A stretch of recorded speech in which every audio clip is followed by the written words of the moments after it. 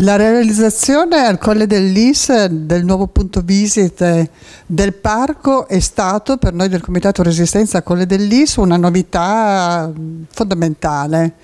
Eh, il nostro impegno dal 2000 è quello di raccontare la storia della brigata partigiana che era operativa al Colle del Lis.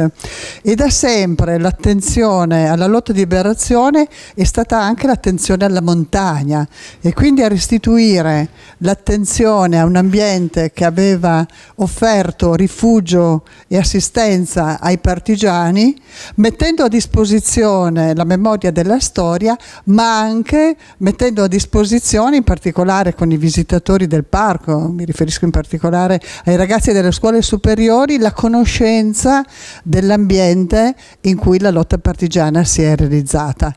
Eh, la costruzione del nuovo punto informativo del parco è stata per il comitato anche la ridefinizione di un metodo di raccontare la storia. il comitato è estremamente grato eh, di, per questo progetto, dell'assistenza che ci è stata messa a disposizione e siamo fortemente impegnati a proseguire nella collaborazione con il parco per realizzare degli obiettivi che stanno a cuore alla nostra associazione ma che condividiamo totalmente e che sono quelli di fare rete nell'interesse dell'ambiente e nell'interesse dei cittadini.